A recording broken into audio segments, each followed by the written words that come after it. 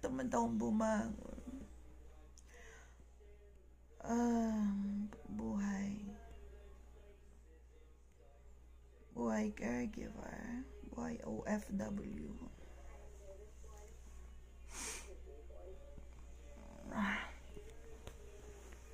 Aray ko ah. Nakapagod.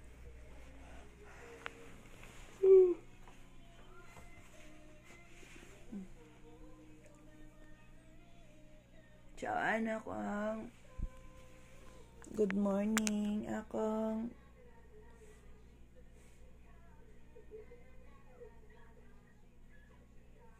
Eh, alaga ako. Pakabaw na. Pakabaw na.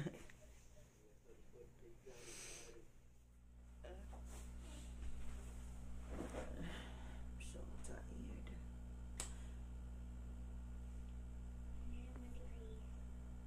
Naaantok ako. Good morning. Inaantok ako, pagod ako. Lagi akong yung tulog kulang talaga. So, maglilinis muna tayo. Yung bed ko sobrang kalat lagi. Kasi, ang dami kasi. Maglilinis pa mamaya. Balik ng beddings. Kasi syempre mangangati din yung katawan niya. Pag mar marumi. Pag marumi ang bed niya. Ah.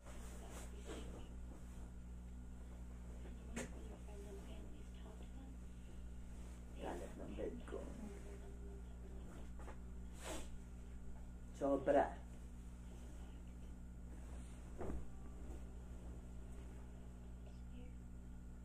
Sa maliit lang room namin ni Lolo eh. Kaya,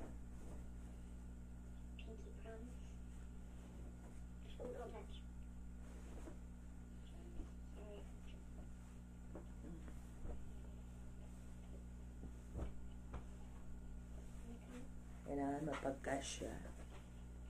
Sa maliit lang yun. Kung, ciao, an?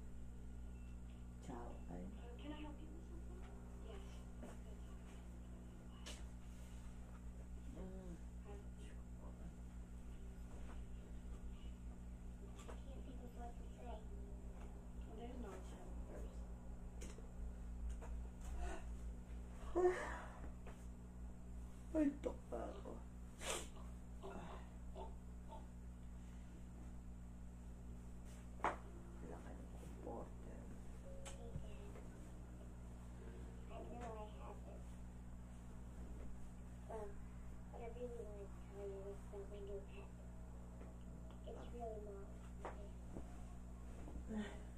well, you know, it's. Where? His name is. He's from not go out everything? I don't, I don't, it took a while.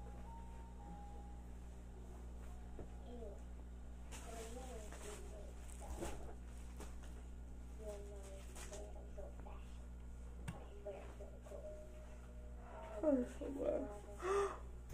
Ano kaya magiging breakfast ko today? Yan. Maayos na yan ah. Ito pa ako. Ah, Diyos ko, Lord. Kompleto yung mga gamot na alaga ko. Nakaset na yan. Mm. Nag-prepare mo na ako ng breakfast. Hi, so tingnan niyo yung alaga ko. Pag tinitingnan ko siya, nakikita ko sa itsura niya, mas okay siya compared before. Four months ko na siyang alaga. Magpa five months na kaming magkasama. So, gamay ko na siya. Alam ko na pag nasasaktan siya, pag hindi siya makahinga, pag grabe yung plema niya, ramdam ko na lahat-lahat. Mm, Ramdam ko siguro nandun na yung bonding naming dalawa. And of course, dala ko na din yung machine. Ito yung machine na it's called, um, kiting na mo, nakalimutan ko na naman. Uh, face mask ventilator. Ito siya. So, ito yung ginagamit. Every night ginagamit niya yan.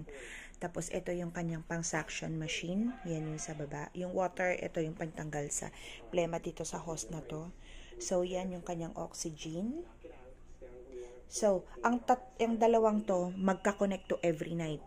Face mask ventilator and the oxygen. Magkasama yan. Hindi pwedeng gagana ang oxygen na wala si face mask ventilator. And ito yung kanyang bed ni Lolo. So, sa ospital nga eh. Manual lang. Diyos ko, yayamanin ng lolo ko.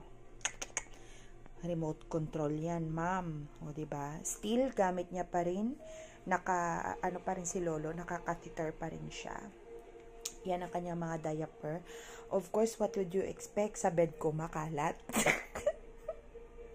Lagi naman niyang makalat. Yan ang aking tatlong taga-suporta sa inyo. Sana wag siyang bumigay. And of course, yun ang sa likod. ang aking uh, tripod. Yan, sa anak ko. Uh, shout out kay Ate Julene, bigay niya yan sa akin ng teddy bear na pink. And ito si Mom, bigay niya sa akin yan. Si Miss. Including ang fila na yan, bigay. of course, makalat. Pang suction na dyan. Ito yung mga gamit. Kasi makalat siya dahil minsan alatapon na ako ng tapon pag nang madali sa kanya. Yan, of course, ang TV namin dalawa ni Lolo. Yan. Nanonood siya ng movie niya ngayon. So, ano pa ba ang gusto kong i-share sa inyo? Ayan, ang kanyang mga gamit ni Lolo. Mga pang-suction, pang-cotton, panglinis sa kanyang uh, bed sore. Uh, yan ang kanya, ito, yan mga gamit na lahat dyan, pinafile ko, inaayos ko para pag kumuha ko, alam ko na kung saan ako kukuha ng part. Yan ang kanyang mga gamot. Ito sa kanyang uh, pag nag-EBS siya, galing Japan to. Ito yung pinapainom ko sa kanya. Yan, cotton buds, ayan, tissue, betadine oil. Eh, sorry. Yan ang aming sitwasyon ng alaga ko. Uh, ano pa ba? Ano ba masasabihin ko sa inyo? Oh, ito pala. Gusto kong i-share sa inyo. Ito ang tinatawag na thickener. Ayan, pinabili ko sa boss ko. Sabi ko, boss, you have to buy this one. Kasi itong thickener na to, pag ang patient mo ay kagaya niyan, bedridden, naka-NGT, pwede mo siyang subuan neto. Pwede mo siyang pakainin ng milk. Anything na liquid na isusubo sa kanyang bibig, kailangan lagyan ng thickener. The purpose is para hindi po siya mabulunan. Ganyan. Tingnan nyo, di ba? Water, yan, thickener. Yan, sa kanyang thickener. Syempre, pampadam, pampa thick, pampa ano ba sa Tagalog ang thick? Uh, di ko alam ano sa Tagalog ang thick. Makapal. Ayan. Ito ang ginagamit sa kanyang pampalinis sa kanyang bed sore. Yan ang ginagamit ko. Aray ko. Yan. Ito, uh, ah, nag inject pala ako ng insulin. Ako nag inject sa kanya.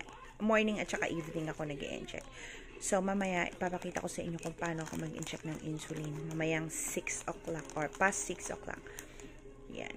Kung magbibigay sa kanya ng shot ng insulin. Ito naman is para sa kanyang uh, ano to, tinutunaw sa water para to sa kanyang phlegm. Sa plema niya to. Yan. And, of course, ano pa ba yung sabihin ko sa inyo? Mamaya, pakita ko sa inyo kung paano ako mag-inject ng insulin. Tingnan nyo social. Natatawa ako sa kanilang alcohol. Sabi ko, boss, bilhin mo ako ng alcohol. Nagulat ako ito yung alcohol. Sabi ko, ayan na yan. alcohol dito nakalagay. O, ba diba? Para, anek-anek lang. okay, mamaya i-show ko sa inyo kung ano. Mag-inject ako ng insulin. Kailangan akong kailangan natin siyang papagilid kasi every 2 hours kailangan nakapagilid siya or 1 hour para yung bed sore na hindi mas lalong lumala.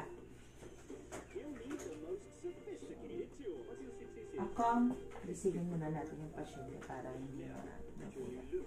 Akong, paisel, pangsen, ha, pangsen, pangsen, ha, yan siya. Paisel, pangsen.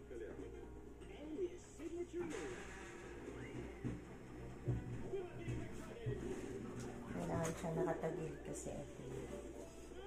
Every one hour yung ginagawa ko sa kanya. Patagil. Find out what it takes to crack the case. The Big Panther 2. Tonight. Only on Fox Family Movies. Taas ko yung bed. I know my sister's here this weekend, but you and I know that really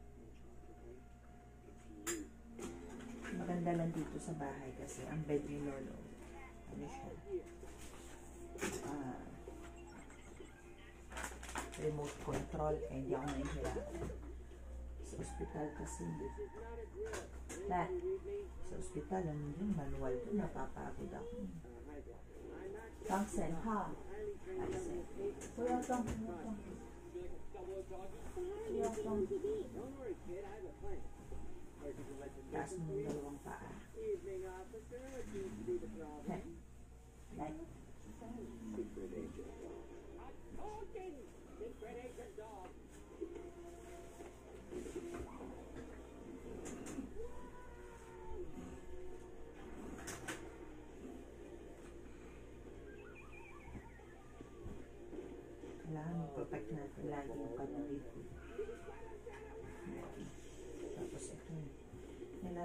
Kasi ng ano yung kanyang paa.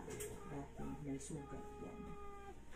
So, para hindi na Tapos dito.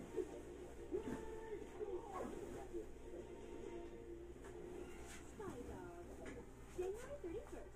Only on Family Movies. Ang bigat niya kaya.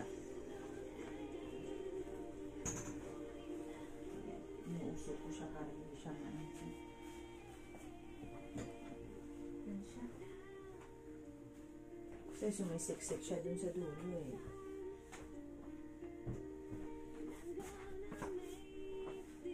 Mabilis talaga ilakad kasi mahirap na. Ina-elevate ko na yung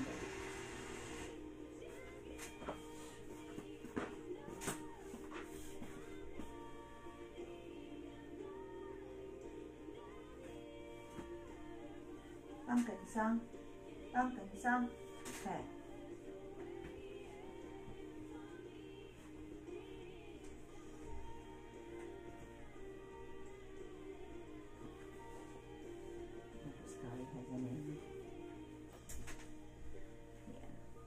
Ko na siya. Tagilid na siya. Yan yung itsura niya pag nakatagilid siya. Gusto kong pakita sa inyo. Yan, ganyan lang siya pag nakatagilid siya. Ayan. Mm. Tapos kumutan.